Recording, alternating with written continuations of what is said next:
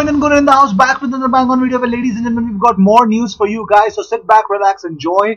If you're an Arsenal fan, go hit that subscribe button, hit that bell icon as well, because I come up with these kind of stuff daily. So make sure you subscribe and be part of this community. The first news that's coming our way related to Arsenal, Lucas Torreira is unhappy with Arsenal manager Unai Emery. Well, he, uh, his agent has confirmed that.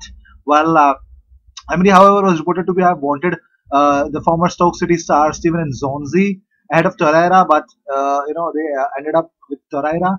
And anything is possible in football. That's what Rafael Bentancur has. Uh, he's, he's the agent of Lucas Torreira has said. He says Torreira is happy at Arsenal, although the change in role has not made him happy. It must be said that this year the whole team is not doing well, but I believe Arsenal want to keep him. It is true Napoli wanted him, but there was economic distance between their offer and Arsenal's.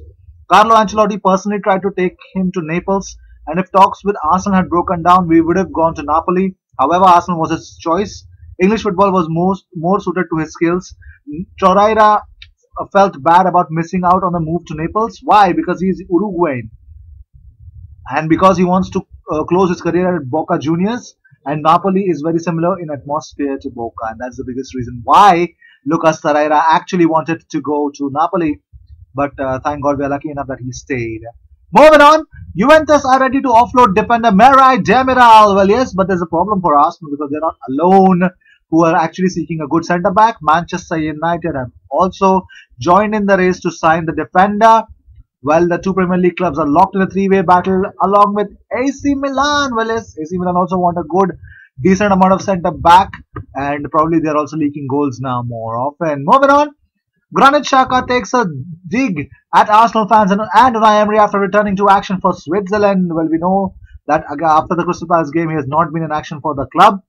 And also, we, we see that AC Milan and Newcastle are keen on getting a January transfer window done so that Xhaka gets some action on the pitch.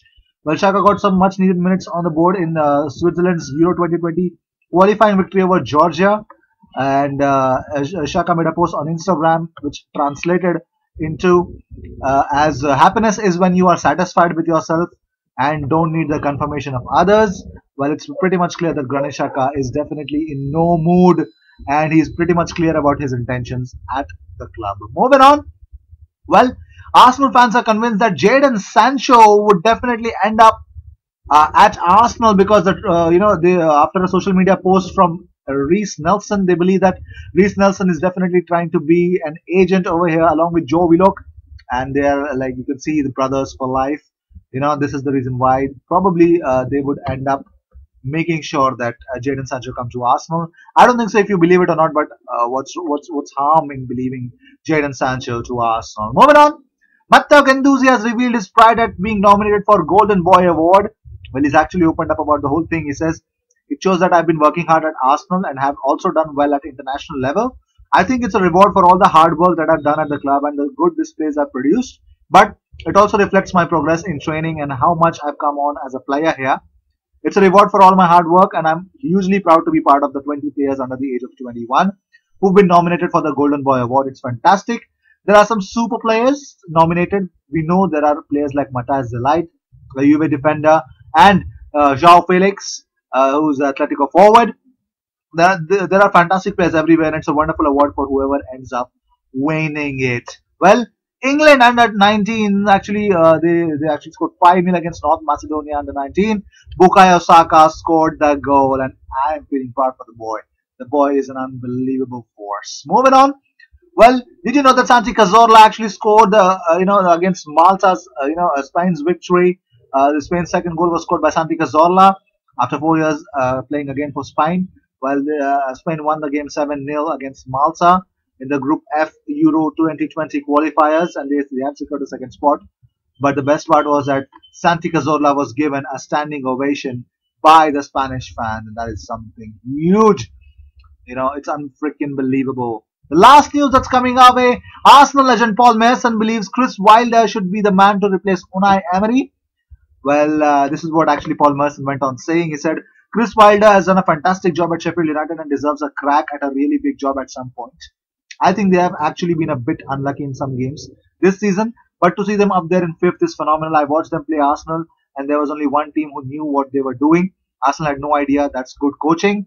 Managers like Unai Emery and Manuel Pellegrini are under pressure, and okay, you never know for sure if a manager can make such a big step. But Chris Wilder has got to be in the conversation the next time a big job comes up.